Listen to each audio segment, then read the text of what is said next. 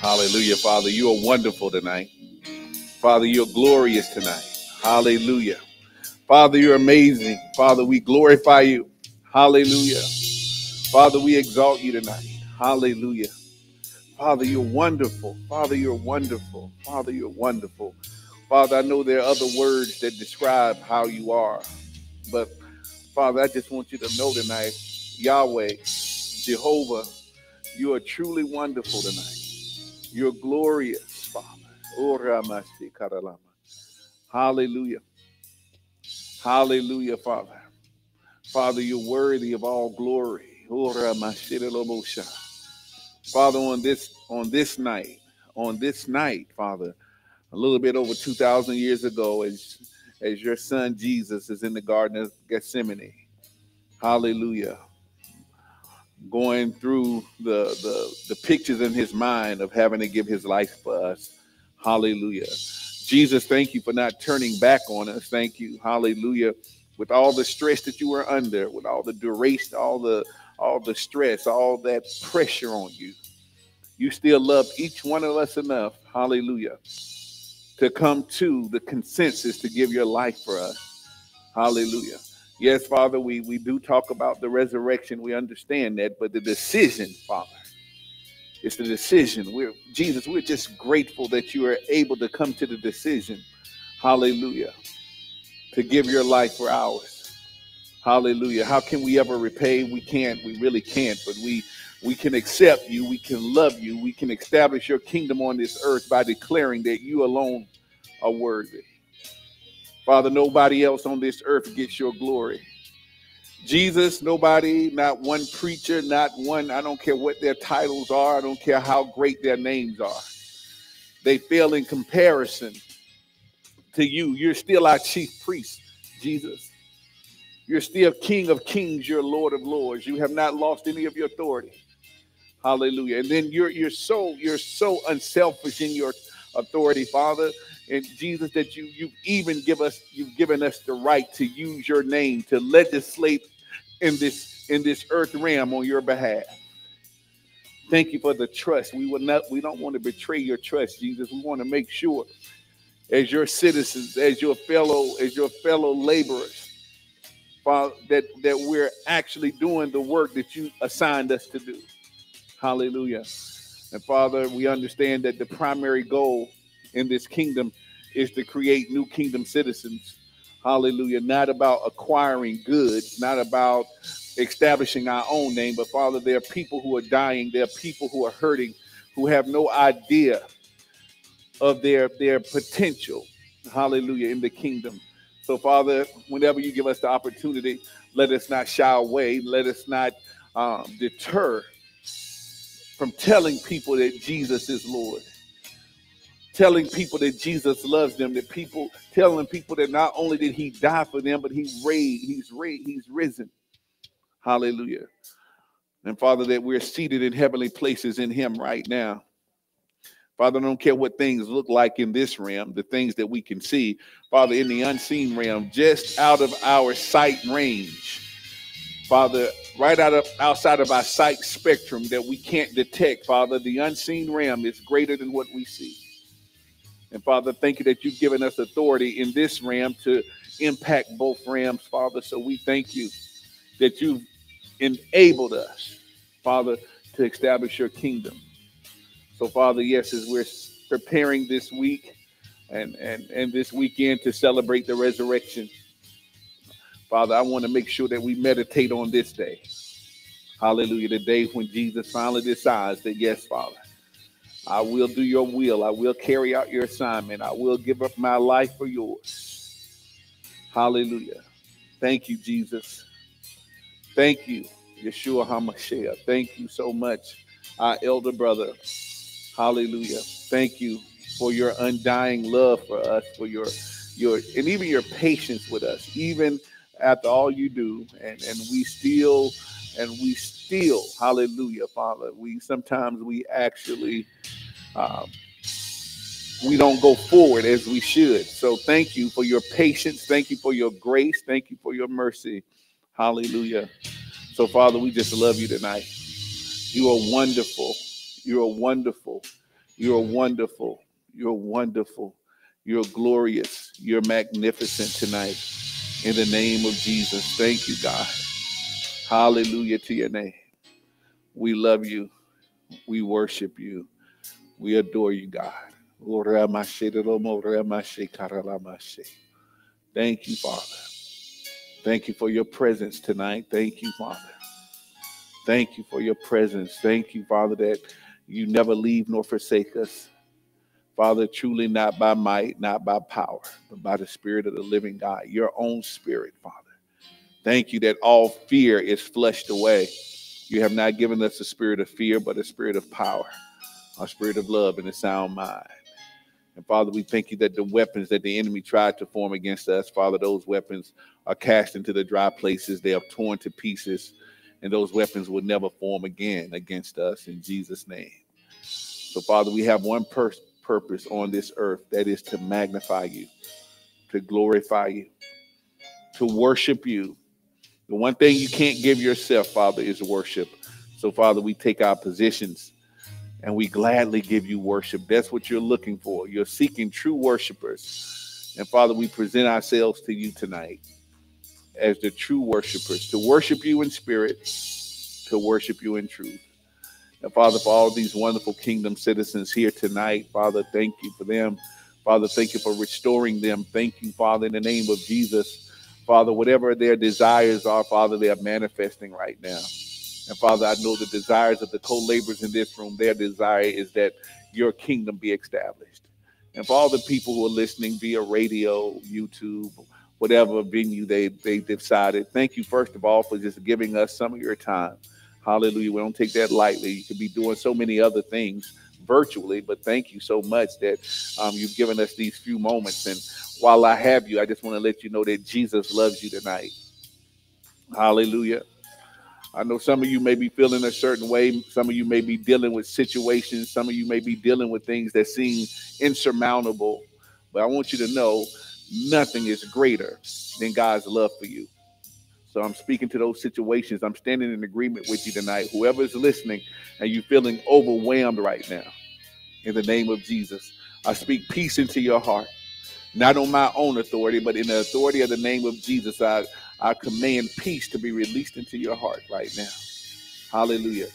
Let you, I want you to see yourself and that you see yourself seated above that situation. Hallelujah. It's already working for your good. You've made it through it this far. Don't give it, don't give up. Hallelujah. God has given you the grace and mercy to get this far through that situation, whether it's healing in your body, financial situations. Maybe you've lost a loved one just recently and you're trying to deal with it. Whatever the pressure is right now, I call you into your divine authority. Hallelujah. That you can speak, speak life into yourself. You can speak life back into your life, life back into your situation. And if you don't have the strength to do that right now, I stand in the, in the gap for you and I speak life into you. Hallelujah. I speak strength back into you right now. Hallelujah. I speak the presence and glory of the Holy Spirit, the dunamis power that will restore you right now. Hallelujah. I want you to know that it's already, not that it's going to be all right, it's okay right now in the name of Jesus. It's not futuristic. Hallelujah. God has already, before the foundation of the world, taken care of that situation. Hallelujah. Don't get weary. Hallelujah. It's okay to be hurt. It's okay to hurt. It's okay to even be emotionally drained, but don't get weary. Hallelujah. Hallelujah. Your, your expected end is great in the name of Jesus, and it happens right now. So thank you, everyone who's listening. I'm praying for peace, restoration. Everything that has been stolen, the enemy has stolen, he has to restore sevenfold. And the years that the cankerworm and the palmer worm and the cankerworm have stolen, they come back to you tonight in the name of Jesus. So, Father, we love you. We adore you. We exalt you. We give your name glory. We give your name honor. And we give your name praise. In Jesus' name. Amen. Amen. God bless everyone tonight. You precious, wonderful kingdom citizens. I thank God for each one of you in the name of Jesus. You're truly, truly magnificent in the name of Jesus Christ. Glory to God. Hallelujah. Glory, glory. Are you going to drive for me, Freddie? Thank you so much. I appreciate you. Amen. Thank you. Thank you. You should. You might be able. You still might be able to sit over there. for You, you might not even have to move. Hallelujah.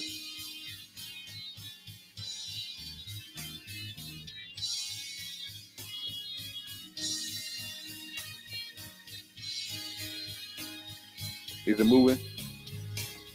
Good deal. All right. Praise God.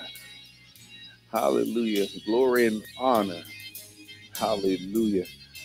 Glory to God. I have to turn this down. That's a distraction. It makes you just want to keep worshiping God. Hallelujah. It just keeps you, makes you want to worship Him. Hallelujah. In the name of Jesus. Salvation, glory, and honor to the Lord our God. In the name of Jesus. Hallelujah. I just let it go a little bit in the background. Hallelujah. In the name of Jesus. Father, we worship you and we adore you. Hallelujah. Hallelujah. We can do our kingdom citizen declarations tonight in Jesus' name. This is our victory. This is how we win in the name of Jesus Christ. These each one of these statements, they establish who you are in God's kingdom. So, number one tonight, I have become a citizen of the kingdom of God by accepting Jesus as my Lord and Savior. Romans 10, 9, and 10.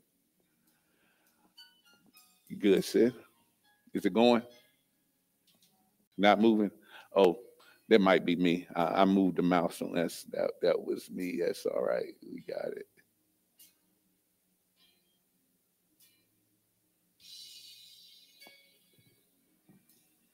Okay. Did you do that? Okay, good. All right.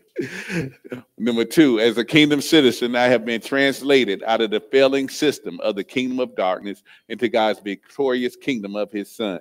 Colossians 1 and 13. As a kingdom citizen, I can do all things through Jesus Christ who dwells in me and gives me strength. Philippians 4 and 13 as a kingdom citizen, I now have the authority when I speak to cause things to be bound and loosed, both in heaven and in earth. Matthew 18 and 18. Hallelujah. Wait one second. Got to get the people caught up with me.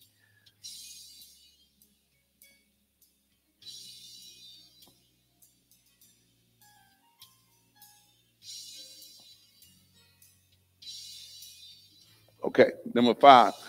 As a kingdom citizen, I'm seated high above and dominate all principalities and powers and might and dominion in every name that is named, because I am seated in Christ Jesus. Ephesians 1 and 21.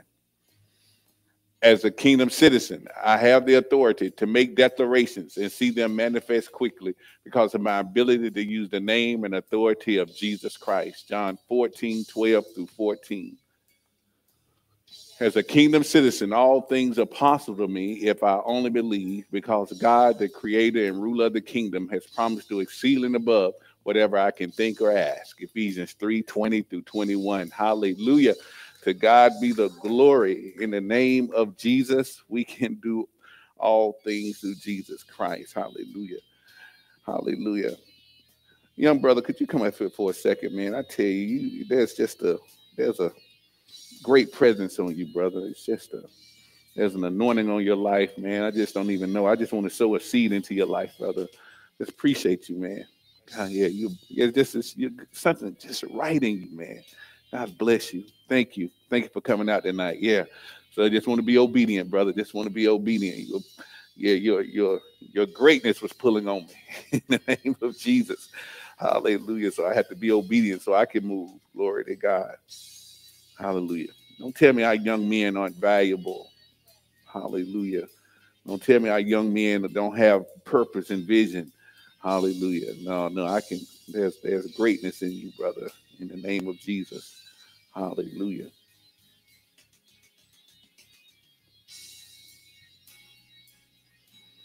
Hallelujah. Let me just get this other PowerPoint put up here.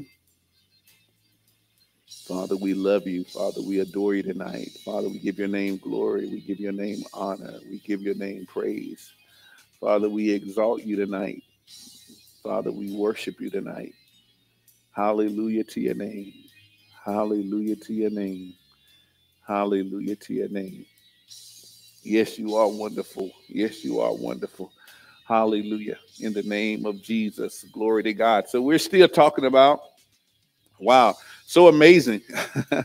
Last year, this time, we were still talking about kingdom citizenship and being a kingdom witness. And here we are, whole year later. Hallelujah. That's why that's why I love about God's word is you can't rush through it. And I don't care how much we think we know about the word of God in the name of Jesus. There's always more in the name of Jesus. Uh, when I started, when when uh, when I first became the the you know the you know the pastor here. Um, you know, I have been doing this for for a few years. I mean, I, you know, not just not as the head pastor, but uh, you know, I have been doing, um, you know, ministry as you know or whatever for a minute. And you know, um, I think God laughed at me because I said, God, whatever, what else is it to teach? He said, Son, he said, he said that's the last thing you need to be concerned about, because he said I can, you can teach Psalm 23 and 1 and never go anywhere else. You can teach that for 52 weeks out of the year. Hallelujah. So much revelation in God's word. Hallelujah. And, you know, that's why I, you know, the times when I let people, uh, when God is instructing people not to get up for one Sunday, but to get up for multiple Sundays, because you can do it once and you're good. But by the third Sunday, you're like, I don't have anything else to say. No, yeah, as long as you got a verse, as long as the word exists, there will always be something to say. Hallelujah. God's word is infinite, it changes. um, is is part of quantum physics. And what quantum physics is is this: whatever you're seeing, whatever we see, I'm looking at that wall, but sight extends beyond that wall. My my my eyesight, my natural eyesight can't see it, but sight goes beyond what I can see. And so what happens is we're, we're existing in all these different um, um, sections of creation. And so the word applies to everything that we see and don't see. So whenever you feel like, you know, you know, I don't know what else I can teach, I don't know what else I can say, man, just go back to any scripture, just read it.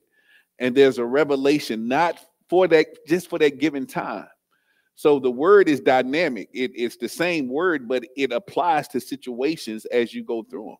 Hallelujah. So when you say the Lord is my shepherd and you're you're in debt, he that that supplies all your need. And when you say the Lord is my shepherd and you're you're going through sickness, you say, "Hey Lord, you've already supplied my healing." And when you're in when you're going through situations and you feel alone, like nobody lo- loves you, you say, "The Lord is my shepherd, Father. You'll never leave or forsake me." Three sermons Three sermons, one scripture. The Lord is my shepherd. I shall not want. So um, I don't know who I'm talking to, but some of you who might be doing ministry and you get up some mornings or you're going through the week and it's like, God, I, I need something deep. No, you don't. You just need to say, God, what scripture I need to focus on? And that scripture, by the time you get here Sunday, what happens is that scripture is already applying itself to everybody who walks in. Hallelujah. So you never run out of stuff. I promise you. I promise you. New new ministers, new leaders. Um, I just I don't even know why I'm talking this way. Maybe somebody is listening. You know, you might be getting to the point like I don't know what else to give my people. You give first of all, they're not your people. And the second thing, you can teach the same thing over and over.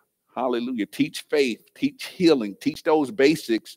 Hallelujah. And God will turn the basics into things that people think they, they like, I've never heard that before in Jesus' name.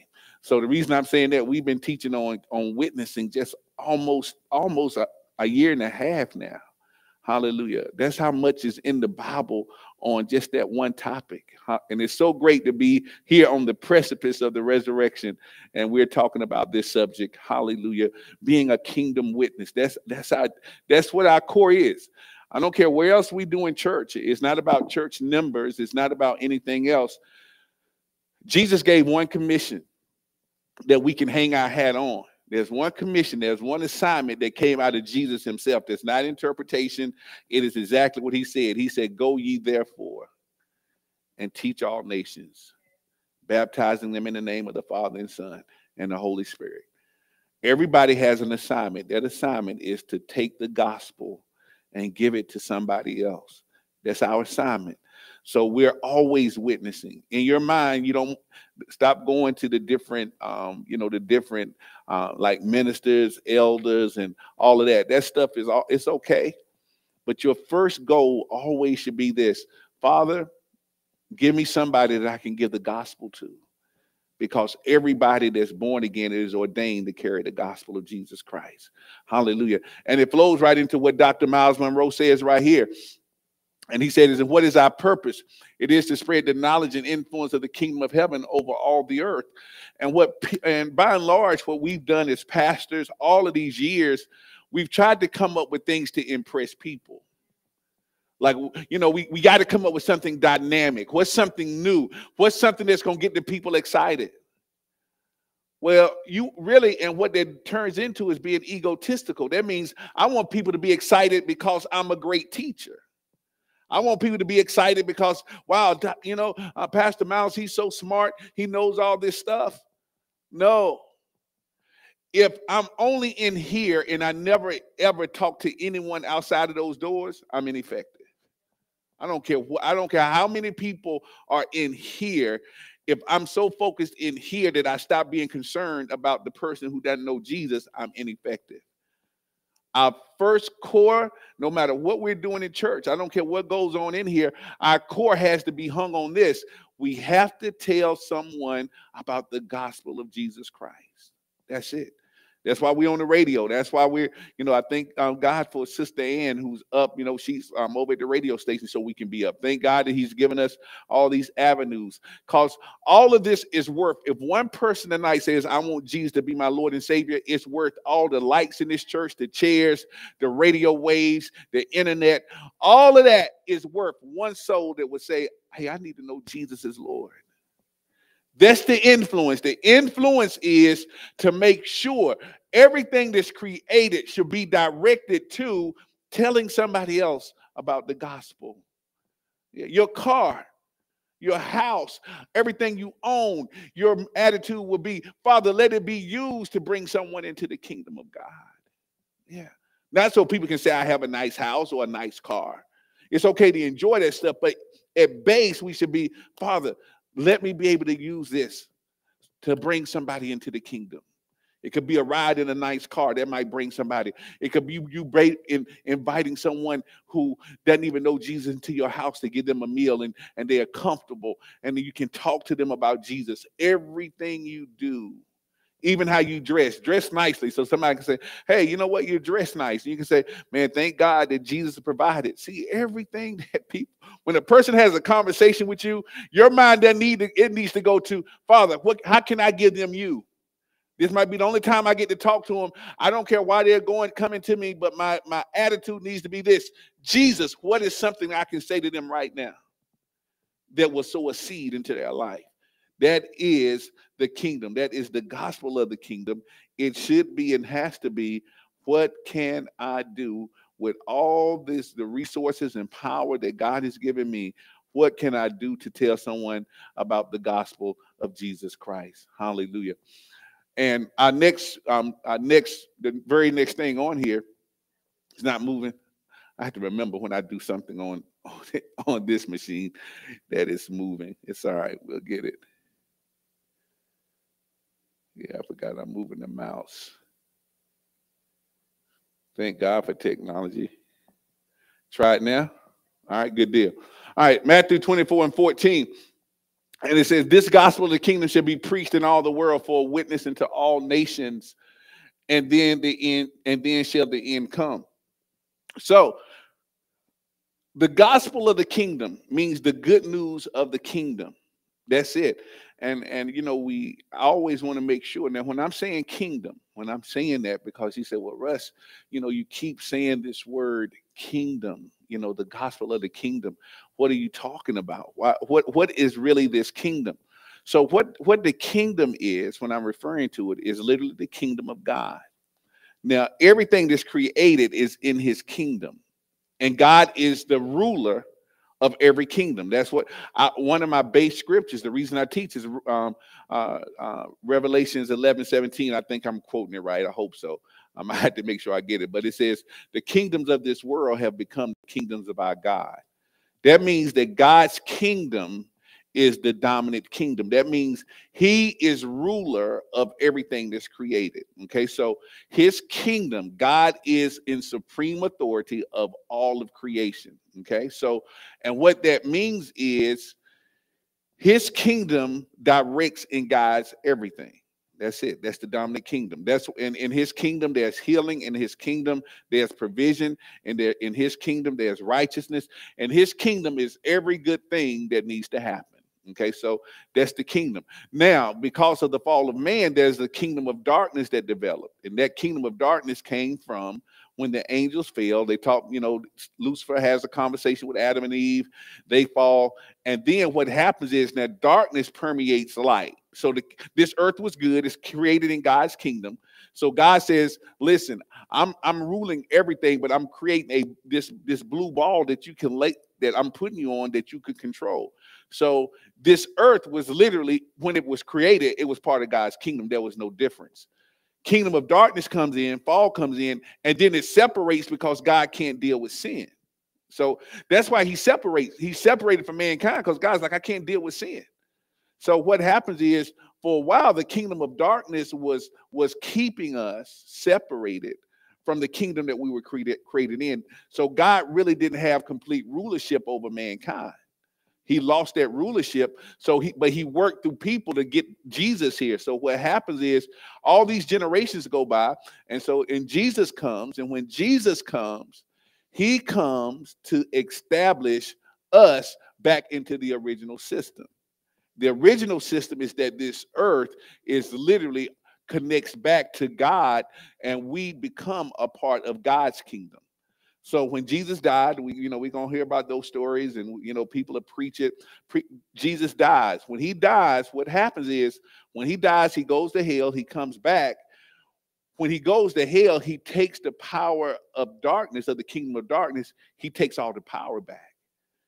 So when he takes the power of, of the kingdom of darkness and he takes authority back, then that gives us the right again to be a part of God's kingdom.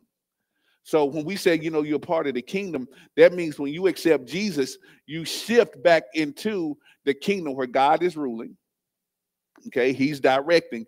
But on the earth, here, he says, what I'm gonna do is I'm not, I don't want to rule on the earth. I want you to, I, I will use your influence and I will work through you so that you can remain the dominant man on this earth. God never wants dominion. He never wanted dominion on the earth. That was never his job. He never wanted to do that. He wanted man to do that. So what happens is when when Jesus died, he's resurrected. We say, Jesus, come into my life. What what that allows God to do, God is like, good. Now I have a vessel that I can use in order to establish my kingdom back on the earth. That's what this is right here. When you get saved, that that gives God another vessel to work through because God can't do anything. God, literally, believe it or not, God can't do anything on this earth because that will make him a liar because he says, I'm giving you dominion. All right, so that's you know, you God can do everything, but God can't lie. so God will not, he will not go against his word. He he he cut a covenant with mankind. He says, I have given you dominion. You won't know how that's true. Let me ask you something. Why at the fall didn't God just come in, come in here and make it right? He could have done that. God could have came in instantly and said, you know what? I'm gonna wipe this thing out and I'll start over. You know why he couldn't do it? Because he had already made a promise. He says, I'm giving you dominion on this earth, and I will never take it back. So, all those generations, Moses, all the great men of God, Genesis, all the stories that we're reading, Egypt, all of that stuff, God was using man, hallelujah, because he could not come back on this earth and do it himself. He was about he was about to with Moses. He told Moses, Moses, I will wipe this people out and start over. Moses reminded him of the covenant. He said, God, you can't do that because then people will think you're like Baal. They'll think you're just a lying God. God says, I repent, Moses. Okay, let me stick with the plan. And then when so when Jesus comes, he dies, he's resurrected, he transfers the ability for us to accept him. And it's his blood in us that connects us back to the kingdom of God. So when you get saved, you're not only a citizen here. That's why I call you kingdom citizens. That means you're no longer just a citizen of this earth. That means you're a citizen of the very kingdom of God himself. Okay? So I just want to give you because I, I know you hear me say kingdom all the time, and sometimes they can be like, "Well, Russ, what is that kingdom? I don't understand. What are you talking about?" And and it's synonymous. You'll hear the kingdom of heaven, and you'll hear the kingdom of God. They're both the same thing. Okay. And right now, when you get saved, you are a part of God's kingdom. That means you rule over everything that happens on this earth in Jesus' name. So I just want to let you know. So when we say the gospel of the kingdom shall be preached in all the world for a witness to all the nations, then the end shall come. We got to let the world know there's a kingdom that you don't see that's greater than what you see. And when you're part of that kingdom, you are actually a part of God's family. That means you are an heir to this world, that you have control over your life. Hallelujah. You have control over situations that the devil is trying to come in and do the devil should never be able to do anything because we have authority. Don't say the devil is no, the devil can't do anything. He's using our words. I got to keep, and I keep saying that as long as I can say it. The devil can't do anything. He uses the words of man to do stuff. So we got to watch our words. Kingdom citizens, you use your words succinctly, directly, because if you say the wrong thing, the enemy will take our own words and use them against us. Come on, man. Watch our words. Our words have so much authority. and the kingdom of darkness is defeated. So the only thing they can do is rely on the things that we say or don't say. If you don't know what to say, I'm gonna tell you, if you don't know what to say, you know, either say scripture or don't say anything. Don't speak out of your emotions. Your emotions will give the devil too much influence. Because when you start saying, I hate this, I don't like this, you know what? I'm tired of messing with these people. These people are getting on my nerves. That gives the enemy the power to operate. So we got to be real careful, especially when we get emotional, when we get in our feelings, that we don't turn authority over to the enemy. Hallelujah.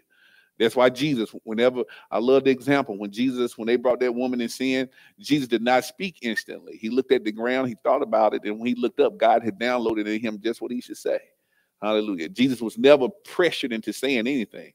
So don't when when you feel pressure to say stuff or you're in your emotions, sometimes just be quiet until you get a download like God, what do I need to say next? Because I don't want to say anything that's going to hurt myself or hurt others in the name of Jesus. That's how powerful you are in this kingdom in the name of Jesus Christ. Glory to God.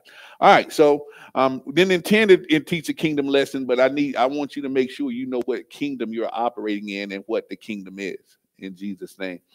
And this is our formula that we've been using. This is how um, we get this world into the um, the kingdom of darkness. This is how we take people out of that kingdom and put them into the kingdom of God. Is um, uh, Paul says this in First Corinthians 3 and 6 I planted, Apollos watered, but God gave the increase. So we don't save people. Okay, you're, you're not going out and saving people. you can't, it's impossible. There's impossible for us to save anybody. Jesus didn't say he didn't say go keep get people saved. He said go tell them about the good news of the gospel. Yeah. What's up, Pastor? Yeah. Do you know nobody sells you a car? They present it to you, but they can't sell you the car. You make the decision to buy it. Isn't that amazing? You know, you hear car salesmen, they can't sell that car. They can tell you the benefits of it, but they can't make you spend the money. It's the same way with Jesus. Don't worry about if people are going to accept him. Tell them who Jesus is. We get so concerned. Well, they don't want to hear about Jesus. How do you know? Because they always say they tell Jesus stuff. No, they're tired of hearing that Jesus will hurt you, kill you, that Jesus is mean, God is mean. They've been hearing the wrong stuff. Just say Jesus loves you. Tell them the good news of the gospels. The world has heard so bad, much bad news and put it on God that people have gotten to the point I don't want to hear about this God that's killing my, my family, and God just took my mom and my daddy, and oh, this God that he's letting the rapist live, and he'll take somebody like my, my son or my daughter. No, I don't want to hear that. That God is mean. We got to present a God that loves people. We got to present Jesus. We got to present the Holy Spirit because if we don't, they never get the right picture of who Jesus, God, and the Holy Spirit are. Hallelujah. Yeah. Because have you ever brought a car and paid more than you expected because the people told you the benefits? You knew that this was your price limit. And they said, you know what? Hey, just for $5,000 extra, you can get this feature. God is like, don't you? You don't even need that feature. You won't even use it. But God is the onboard GPS. But by next year, they'll create new roads and it won't be worth what you paid for it. Do you know GPS time they opened up a new road, that GPS is outdated? But then you pay $5,000 because it's going, you know, it's like, well, it's the GPS. And hold it it's okay if you wanted that future, but if God says just use the use a basic GPS, use your phone, don't pay five thousand dollars. And God forbid if the GPS goes bad, then they got to take the whole front panel off, and it's out of warranty. Oh, be like God, I, can, I told you, God, like I told you not to get it. Sometimes God probably just like a parent. I told you. The salesman didn't make you buy it, he sold you a benefit. This is it. Give people the benefits of Jesus. Uh, let them decide. Because then the Holy Spirit will help that sale. Hallelujah. Because everybody that's here, hallelujah. I got to get to the lesson. I got to. But let me tell you something. God gave me this revelation and it totally um, it changed the way that I thought about what's in us when we get to this earth, because uh, we here to measure of faith. Now, I'm gonna tell you the truth. When I hear the measure of faith, I always thought that there was this little faith that was in us that connects. God says, Russ, do you know me? I measured the world in my hand, son. My measure is not a thimble. I send you here full of faith. It's not just some little infinitesimal something. He says, No, you are born with all this faith. Because to know me, you it, it, it, it takes more than a thimble. You come and your, your whole spirit is clawing to get to me. Because you're full of who I am when you get here. All I need you to do is seed it. I need you to seed that faith. Do you know how much power is in dirt? There's enough power in dirt to grow trees, apple, oranges. Same dirt can grow anything, but you have to activate it with a seed. Same dirt. The dirt doesn't care. It says, You give me a seed, I got the stuff that'll grow it. So you come here full of faith. Every baby, don't look at the baby so oh, they got a little bit of faith. No, they got more faith than we got, but we, they have to come into the knowledge. And when they hear, when when faith hears Jesus, oh, it's like an it's like an electric bolt that goes through your your spirit, because all that faith activates every time you hear the name of Jesus. So the next time you hear measure faith, don't think it's some little mustard seed. No, you people come here full of who God is. That's why I say babies can't talk. I believe if babies could talk, they would just tell us too much stuff because they came directly from heaven. The first thing they were talking about is like, yeah, you know, I saw Jesus, I saw God, and they were doing all this stuff, you know.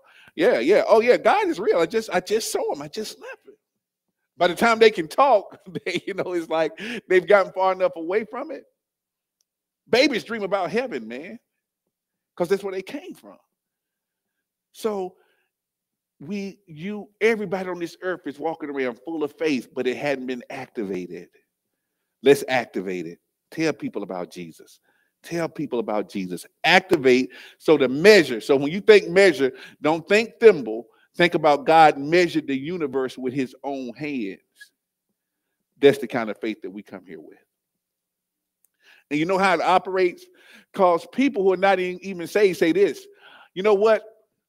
I'm getting ready to do this and it happens. How can we speak stuff not even saved and it still happens? Hmm.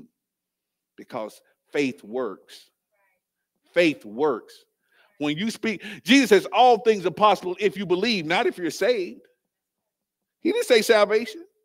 He said all things are possible if you believe. That's why God had to shut down the Tower of Babel. They were getting ready to, they were, they were getting ready to build through time, is what they were getting ready to do. God says, I got to stop them because they don't doubt. I can't stop them because there's no power greater than what they have. They have the ability to believe. There's nothing that's bigger than the power of belief. Hallelujah. And every human being has it. We just got to get them to believe the right way in Jesus' name.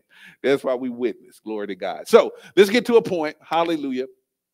As, um, as kingdom witnesses, we must be careful that when God reveals the truth of who Jesus is by his spirit, that we do not drift back into our traditions which means sometimes we have to remove ourselves from the traditional setting and teaching we were used to practicing. It's easy to drift back in tradition because it sounds good. He might not come when you want him, but ow! And we going off. As kingdom citizens, that should make your flesh crawl. He might not come when you want him, but he'll show up right on time. God knows your heart. He knows you're going through something, but He's trying to teach you something in this situation. Don't drift back into tradition. I, I don't you can I tell people you can visit any church you want to, any Sunday you want to, as many times as you want to. But when you visit and they're not teaching kingdom, you better leave quickly because that stuff feels good to your flesh. Tradition feels good because it put everything on God. God will fix it. God will do it. Just wait on God. Won't he do it? It's not on God, it's on us. We are the citizens, not God. God is, He has already delegated authority to us. We got to get out of the mindset God is going to do something. He's already done it, church. He's Alpha and Omega. He finished it at the beginning. We just, Bishop says this, we just, we just living out the middle. And we control what's happening in the middle. Stop waiting on God. We we spend years waiting. The wait is over. Hallelujah. So let's look at this.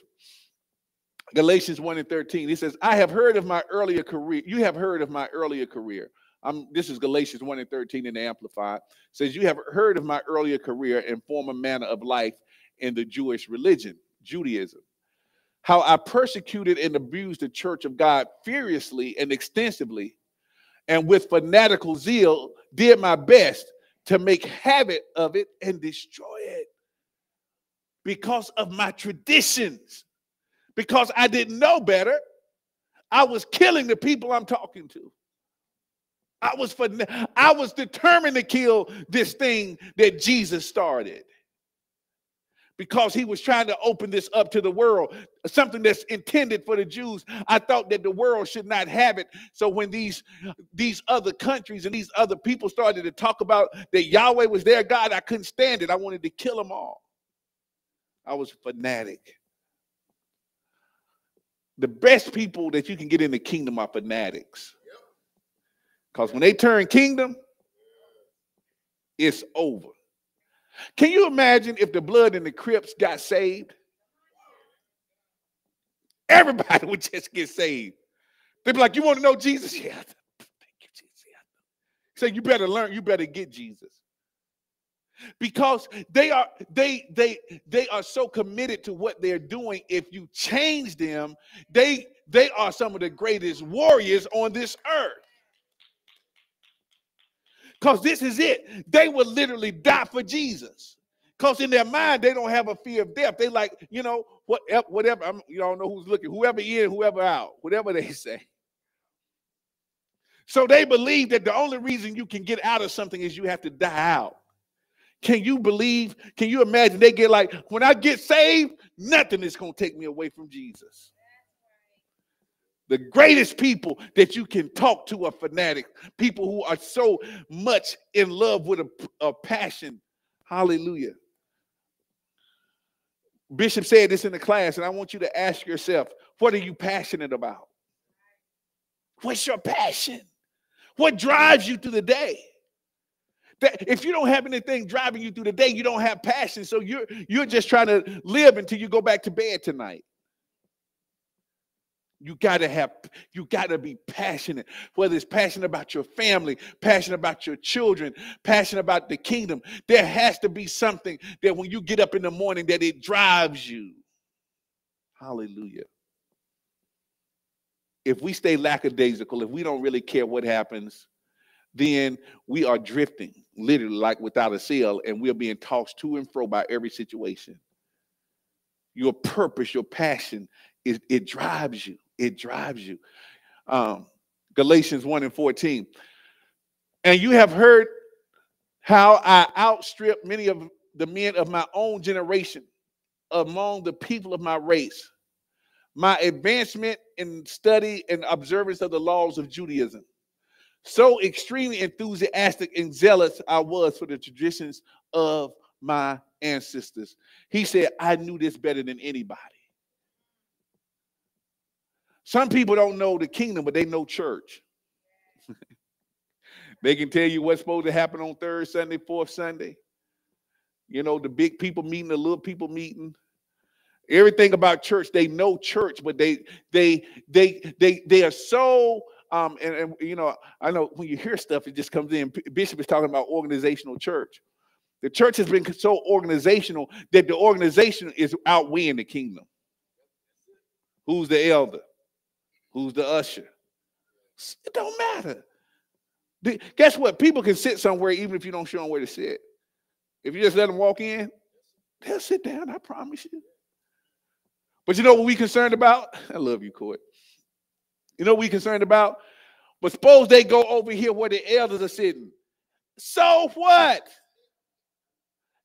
Please don't run somebody down if they come over here and sit. Like, excuse me, excuse me, excuse me. You know, those are for the elders and the shut up. Let them sit where a chair is a chair. Don't we that's it, Mike. They can sit right here. We did that when I when I put Steve in that chair. He was like, "Oh my God, yeah." We know church so well and have no idea about the kingdom. We teaching church protocol. We're teaching this is how you do this in the church. And uh, why aren't you teaching people how to be victorious? Because they leave out of here defeated. Because we didn't give them anything to live on and they leave out of here jealous because we've given so much um, esteem to people in positions. Come on, man. Let's shift this focus.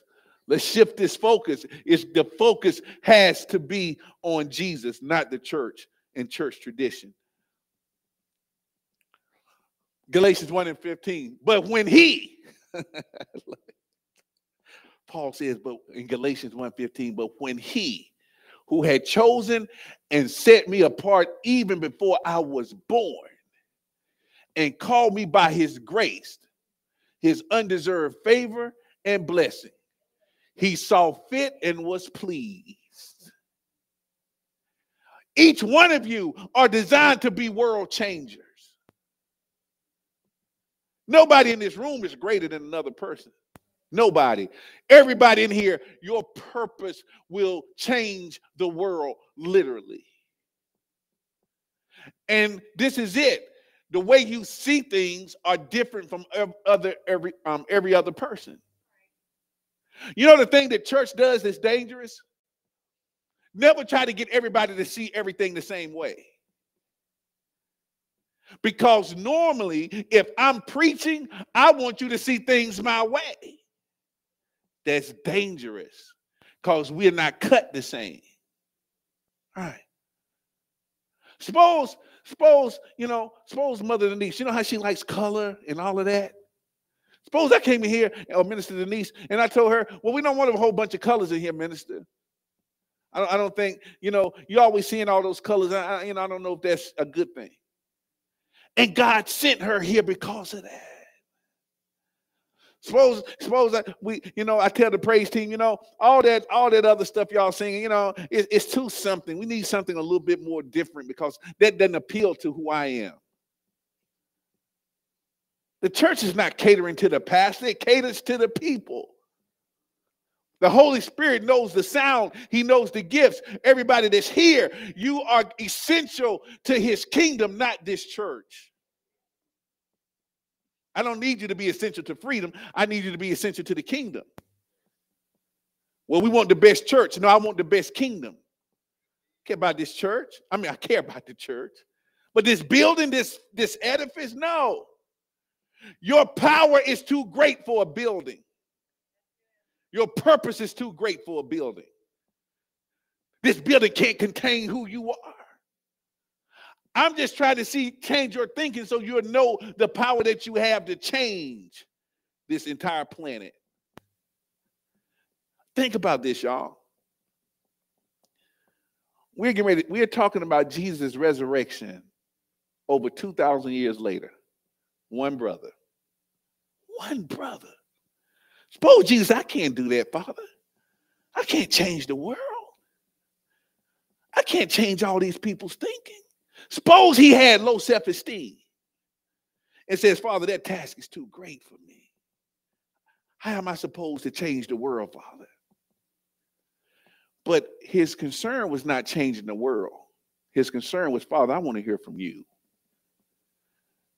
If you from hear from him, don't worry about it. you will change the world. If you hear from him, he will speak to your purpose and you will change things around you. You won't even have to try Yeah. Yeah, I keep, you know, I, am I'm just picking on you, Minister Denise. I know you're like, why I keep picking on you? Because she showed me this picture. She wrote me and she said, Hey, hey, Pastor, you know, I got this thing, big poster, whatever. I'm like, hey man, if you're it, let's do it. I didn't even know it was that big and beautiful. Because it looks like this on the screen. When she unfolded it, I'm like, oh my God. My eyes, when you walk in, it goes directly to this. And suppose I had to told her, well, we, we don't really put stuff on the walls because the wall is holy. Oh, yeah. It's great to have people in here who are kingdom citizens. Listen, that's why when y'all talk to me, sometimes y'all don't even give it out of your mouth. I'm like, yeah, do it.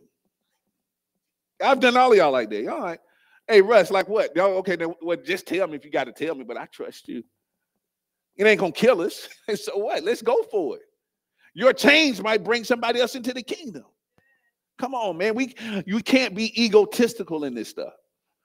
So let's keep going. Hallelujah. I want to get to the end of this, at least the end of this point. He saw it fit to re, uh, in Galatians 1:16 to reveal, unveil, disclose his son within me so that I might proclaim him among the Gentiles, the non-Jewish world, as the glad tidings, as the gospel. Hold it. Immediately, I did not confer with flesh and blood I did not consult or counsel with any frail human being or communicate with anyone. You know what he's saying? Because if I had to go back and talk to the Jews, they would have told me I was crazy. They would have said, That's the devil, Paul. You don't do that. So when when he was on when he got hit when the holy when God, when Jesus showed up with him and we know this. He, he went blind and he had to step back from everybody. And to Ananias, until God told Ananias, you need to go talk to Paul. Ananias said, he killed people. you want me to go talk to that nut? He, he hates Christians. But God had to separate him so that he could move him into his destiny. Let me tell you something. You know, when God gives you a purpose or whatever, if He doesn't tell you to tell anybody, keep it. Keep it. We get so excited. But God, God told me, God said that I got the apostolic anointing. Did He tell you to tell anybody? Jesus at 12 years old could have did what he did at 30. But he said, God said, wait, son. I got other people that is going to be attached to your life, and I need you to go ahead and be subject to your parents because this is not the this is not the, the time for you to start your ministry. So Jesus has to step back for 18 years, knowing who he was, learning who he was, and he couldn't tell nobody we have a dream and we like, oh, God show me in a dream that I'm supposed to whatever. Did he tell you? if God didn't tell you to release stuff, keep it. Keep it. Because Mike come to me and say, hey, hey, Russ, you know, God said I'm an apostle. Oh, then I'm like, oh, Mike gonna try to outrank me. Hmm. If I'm not an apostle, Mike can't be an apostle. And then I'm looking crossways at Mike. Look at Mike. He just probably waiting to see how he can get me up up here. Mm-hmm. Oh, now he an apostle. Oh, oh, oh, so now I guess I'm supposed. You see how that goes? Some you are bringing turmoil on yourself sometimes because you're releasing stuff to people who don't need to be released to. Always ask God. Now, is this, and I y'all see me up here talking. Sometimes God will hit me with stuff, and I'll stop for a second. That way, God, are you correcting me? Are you telling me something, or is this something that I need to release? So that's sometimes why y'all see me go like, oh, God, am I supposed to say that? Because I'm like, wait a minute, God, that could be personal correction. Or this is not, is this something I'm supposed to re- be releasing right now? I don't do that because I'm trying to decide. I just need to know because if I unleash something at the wrong time and it's not supposed to be that time, it could be doing more damage than good.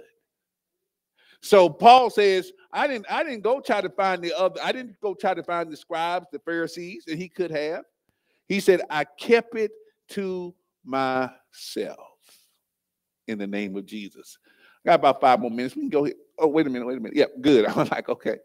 And number two, I think we can get through this. We're okay. If Andy give me about 15, uh, about 10 more minutes after eight, Sister Ann. Thank you so much.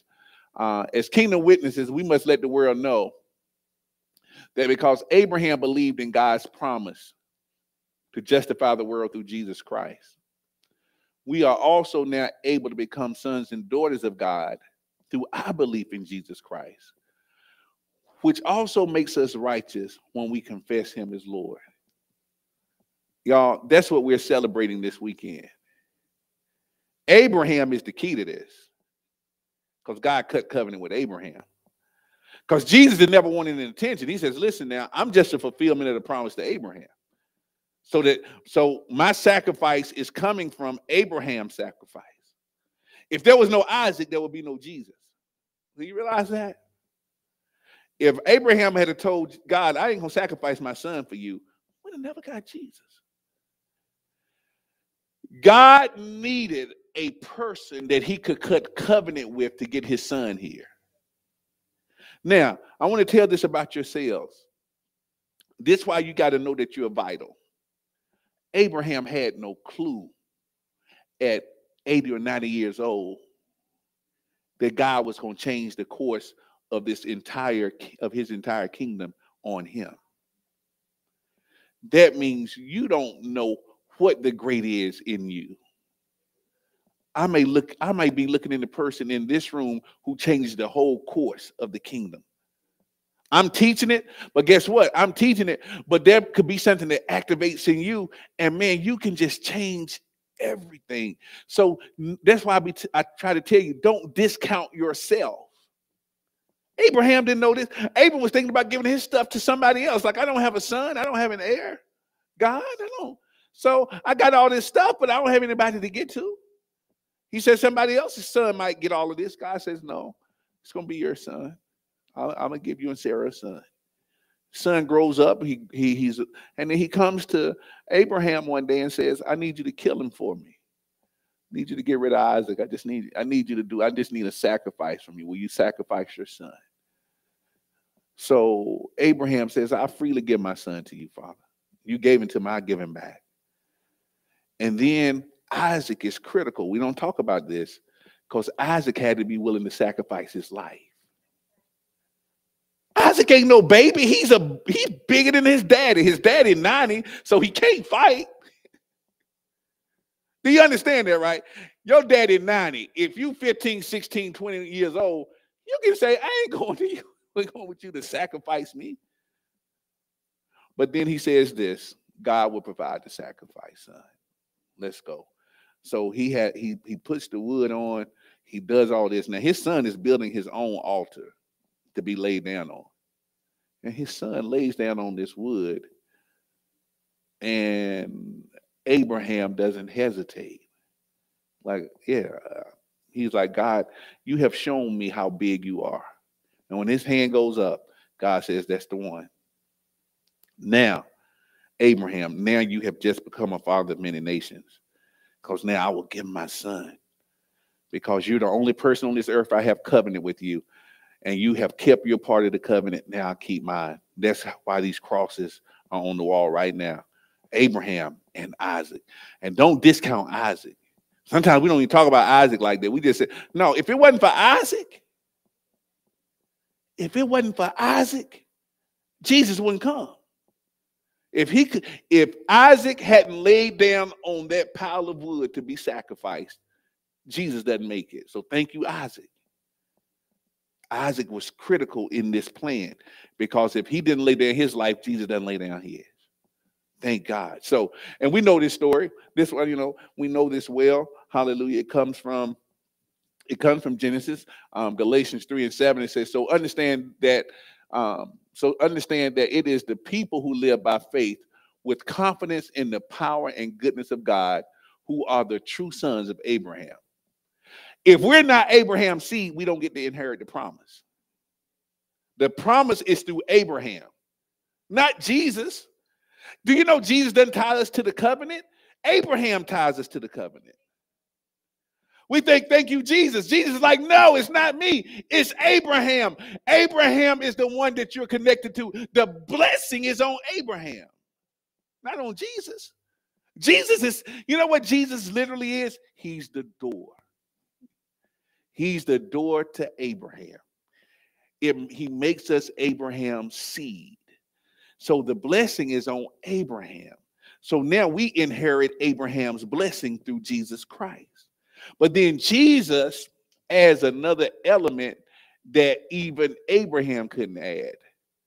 Now Jesus only he not only takes us back to the natural blessing of Abraham, he get he takes us all the way back to the dominion that Adam and Eve were supposed to have.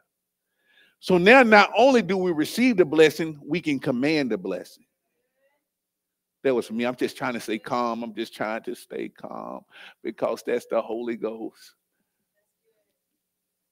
Because with Abraham, we can only say, Father, I receive. But because of dominion, you say, Blessing, I call you into being. And because I'm a priest, I can say, Father, the blessing now, it attaches itself to Pastor Michael's life. Father, the blessing attaches itself to Sister Denise's life. The blessing attaches itself to Sister Linda's life. The blessing attaches itself to Sister Stephanie's life. The blessing attaches itself to Sister Frederica. What's your name, young man? Jeffrey. The blessing attaches itself to Brother Jeffrey's life. The blessing attaches itself to Sister Linda's life. The blessing attaches itself to Brother Courtney's life. The blessing attaches itself to Brother um, Thurman's life. Now we can actually decree the blessing.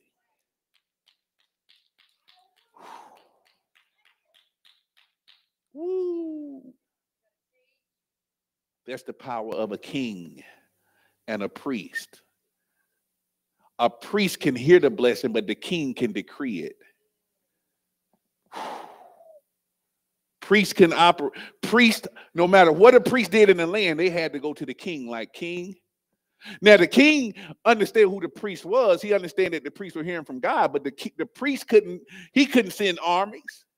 He couldn't do all of that because he needed a decree from the king. But Jesus says, "I'm making you king and priest." You can hear from me and decree it, and it will happen. Because I have stepped my authority on you. You now have dominion. Plus, then the blessings just keep coming. He said the blessings will overtake you. That's why he says, so you know what you spend most of your time doing? Just blessed people. Your blessings will just overtake you. Yeah. That's why Jesus said, take no thought. Take no thought. I'll take care of you if you take care of the kingdom in the name of Jesus. Galatians 3 and 8. The scripture foreseeing that God would justify the Gentiles by faith, proclaim the good news of the Savior. I love God. How did he time this on Easter? Because he is so smart on Resurrection Sunday. Galatians 3 and 8. The scripture foreseeing that God would justify the Gentiles by faith, proclaim the good news of the Savior to Abraham in advance with this promise, saying, in you shall all the nations be blessed. Because now, you know why the Jews are having a problem? Because the law no longer works for them. Because no, no, the law is no longer needed. But they refuse to give up their tradition. And they hate the fact that they are not the only ones who are heir to the kingdom now. And this is really what they hate. They can't get it by birth, they have to get it by faith now. Jesus says, I come for the Jews first. I'm here for the Jews. But if they don't accept me, that's fine. Then the nations will come in. That's all them stories, you know, like the table, they, you know, the, the, the man prepares the table for the wedding guest and all of that, and the people don't show up. He says, Well, listen, go get them. He said, Go out into the highways and byways, invite them to the table. If, if my invited guests won't come, that's fine. Go find anybody who want to eat and bring them to the table. So God says, Listen, I'm, I'm sending my son for you because of Abraham, but guess what? My son got enough power in him that he can redeem the world back to me. And I don't care about now. I respect your relationship with Abraham, but that's not going to get you into heaven. That's not going to get you into my kingdom. The only way now that anybody comes into my kingdom is through my son. I don't care what your relation is to Abraham. Abraham would have loved the day that if he could have seen Jesus come to this earth, but he accepted it by faith. And guess what? when Jesus gets up on the third day, guess who gets up with him? Abraham. Can you imagine him walking across that gulf? Because he has all power. And he looks at Abraham and Moses. He looks at Isaac. He looks at all of those and says, You know what? Let's go. I'm proud of you. I saw you when you were going through all of that. You have done your job well. And I'm here to honor my father's promise with you. You are now redeemed from this place. So they left paradise and they went into the kingdom of heaven. And they were able to walk around on the earth. Hallelujah. Because of the promise that God gave to Abraham. Hallelujah. So, yeah, we get it. I didn't know I was going to be teaching about the resurrection, but this is what it's all about. Galatians 3 and 9.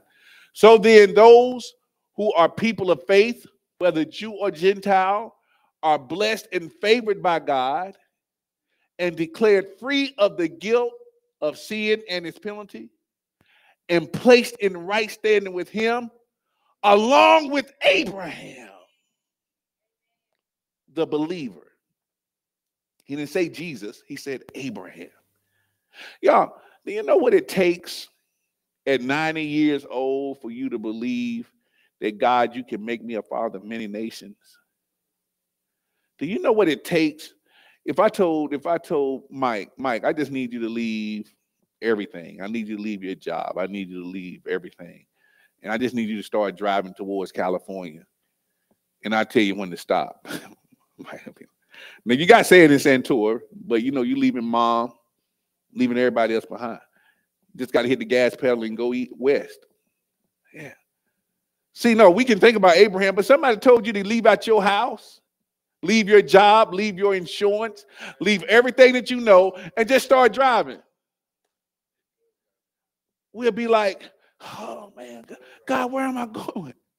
God, where am I? God, what is, wait a minute, hold it. Wait a minute. Abraham literally left everything because God says, Go to a land I'm going to show you, son. Hallelujah. And even though he took Lot, Jesus Christ, we ain't getting into that story. But he honored the fact that he was willing to go on the word go. Leave it, son. Just leave all this stuff. I'll make you great and I'll increase you. And then I'll bless your seed and you are Abraham's seed. Hallelujah. Y'all love God tonight.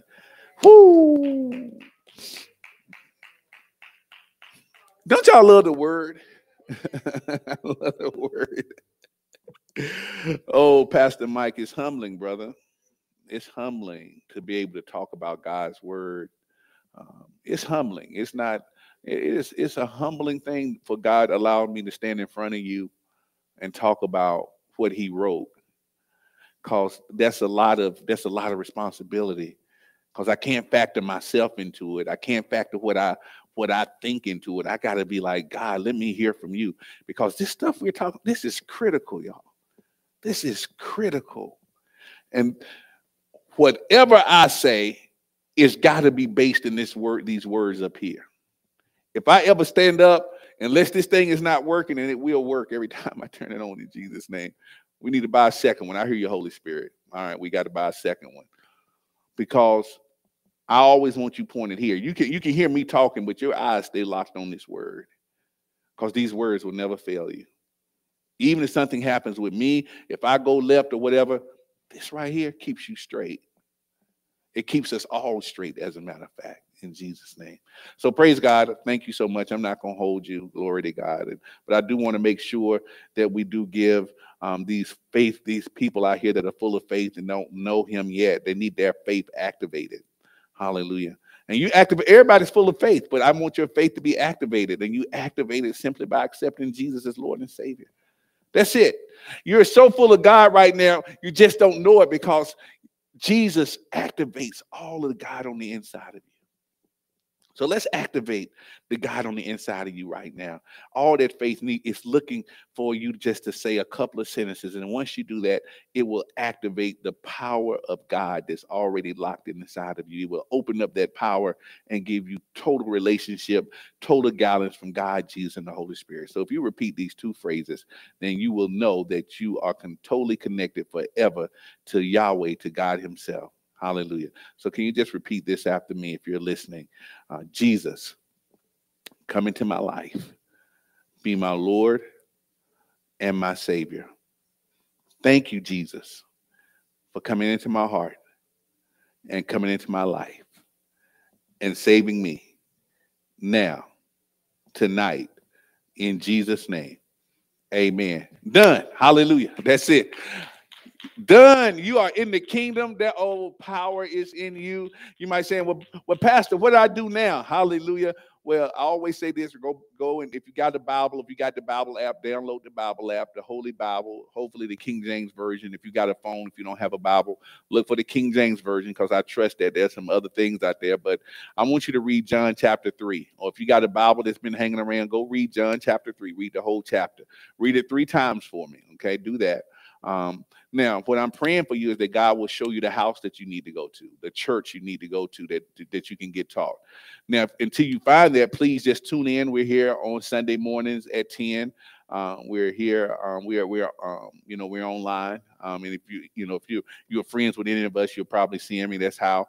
If you're on the radio, we're on on seven at seven o'clock at night on Thursdays, and we're on ten o'clock in the mornings on Sundays. And listen, I'm telling you, until you find where God is sending you, I just want to make sure that you're getting at least your foundation right.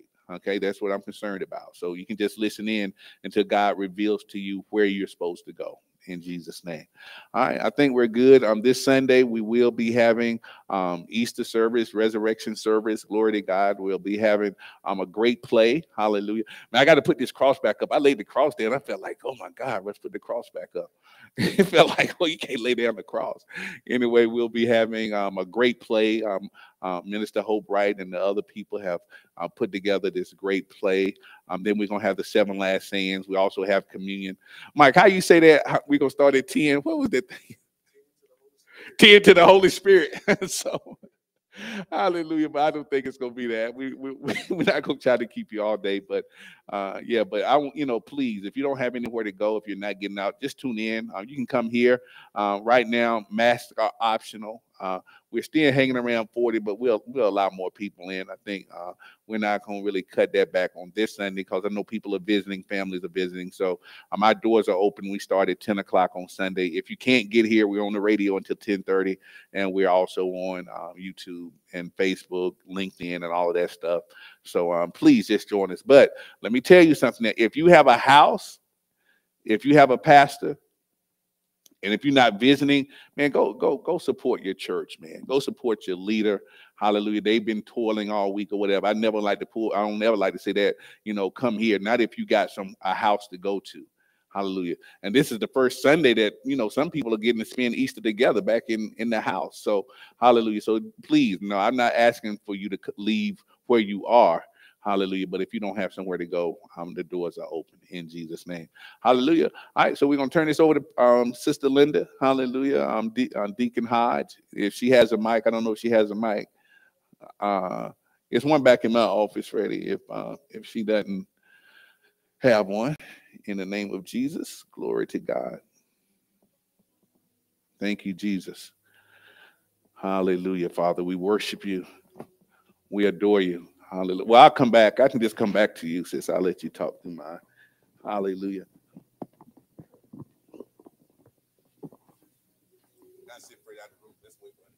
I sent Freddie out. Testing, testing, So, testing. I don't want to do all that effort, and then I start this anyway. Oh, there she go. Hallelujah. See, the Holy Spirit loves everybody. So, right? Just wait. Testing, testing. Number six.